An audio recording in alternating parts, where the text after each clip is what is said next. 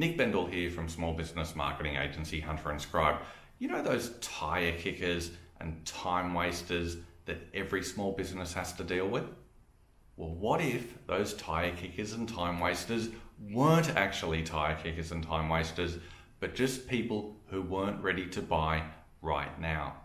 And what if instead of just dismissing them either by ignoring them or sending them a really brief reply to whatever inquiry they were making, what if you took the time to provide them with really helpful information, either in person or over the phone or by email? And what if you just kept nurturing the relationship? And what if, in say, three years' time, those tire kickers and time wasters decided that actually, right now, I am ready to buy? If you did that and none of your rivals took the time to build a relationship, which business do you think they're going to choose?